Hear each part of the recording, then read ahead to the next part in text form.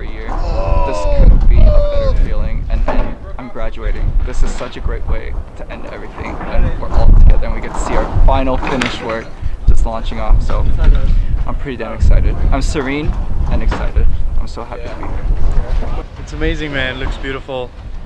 We're all ready to launch, trying to set up everything, trying to get everything together. The view is beautiful.